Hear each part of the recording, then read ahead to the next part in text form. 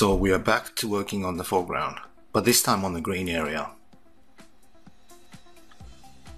Now I'm just going to grab that flat brush that I've been using and I'm just going to change the angle so that it follows the form. Just going to adjust the colors and I'm going to start this by flattening the ground with simple brush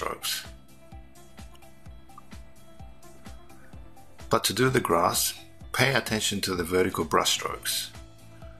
We don't want to be rendering every blade of grass. We're just suggesting it because it's not an important part of the image. Now I am also thinking of adding a few more rocks on the ground, just scattering around the character.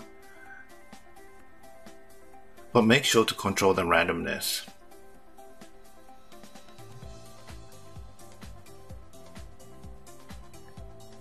In the previous part, I did mention 3D, because I do occasionally use 3D to assist me, especially for architecture or some layout work.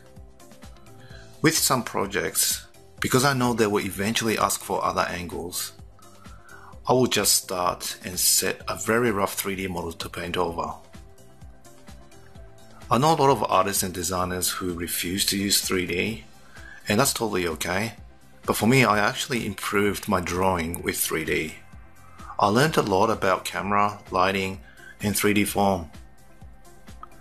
It's actually a really useful way of learning, so if you have access to 3D, I'll definitely recommend it.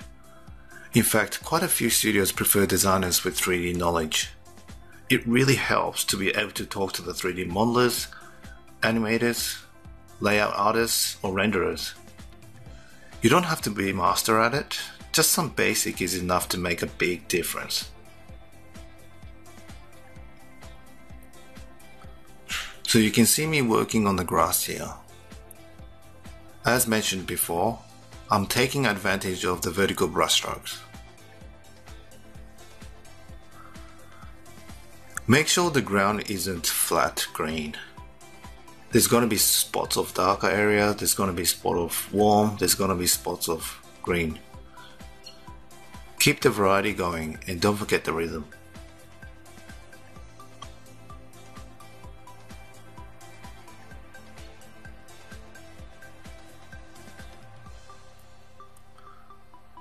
This might sound a little weird, but I actually have gotten jobs just because I knew 3D, but then the job didn't require 3D. I mean, when I started working, I never had to deal with it at all. I think they just wanted to know if I was open to it, but yeah, anything can happen. These are all tools, and more tools you have, the more options you have. I haven't used 3D for a while now, but I do want to get back into it again because I definitely see an advantage. And there's so many programs now, and it's only getting easier and easier to use. There's even free sculpting programs like Sculptris by Pixologic. It's quick to download and very easy to use. It's basically a simplified version of ZBrush, so if you don't have the money, just download Sculptris and play around with it. It's definitely going to be useful. If you become good with it, you could add that to your pipeline.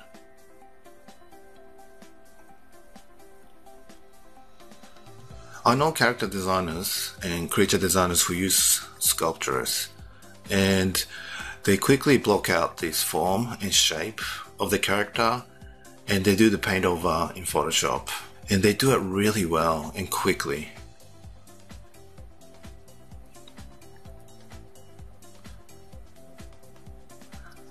I'm just putting down options for you guys.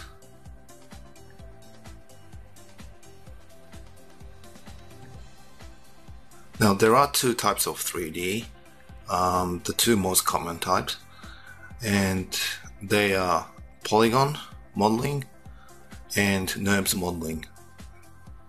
Now with polygon modeling, it's a bit like Photoshop where you have to deal with pixels.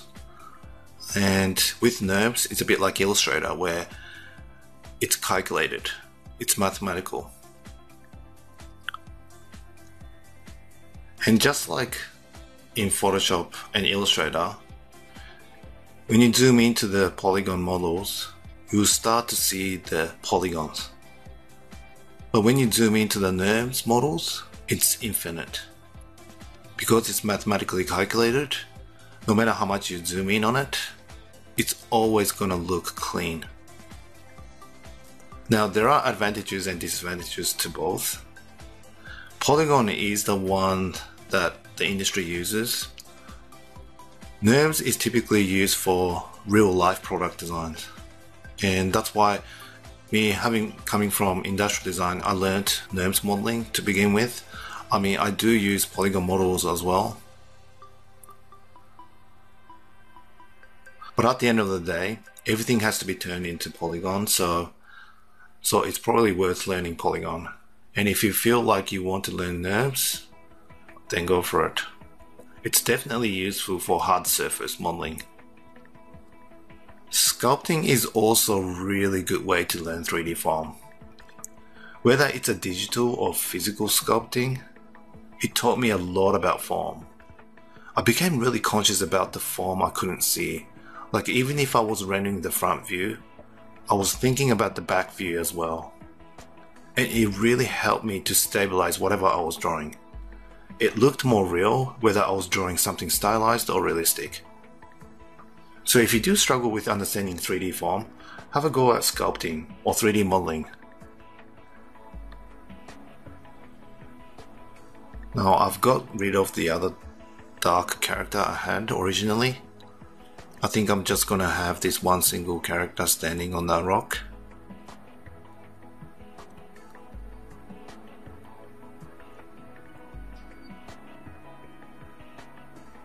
Now I'm just adding some rocks around the character and I'm grabbing the values from what I have on the canvas.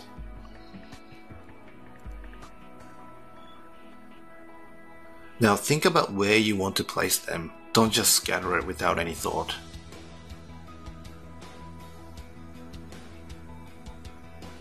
Rocks are three-dimensional objects. Please remember to add those shades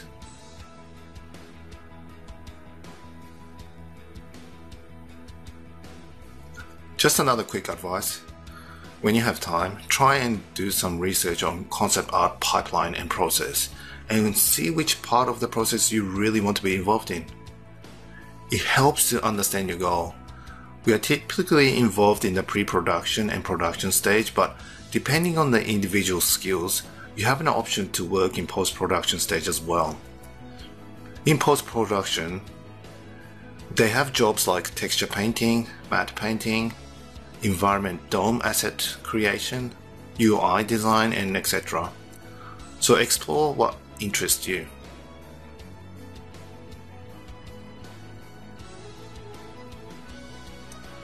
With the rocks on the ground, I wanted them to be slightly darker than the grass to separate the two elements. So keep checking the tone by desaturating the image with hue and saturation adjustment. The foreground is looking a bit too warm, so I will be adjusting the color later on to cool it down.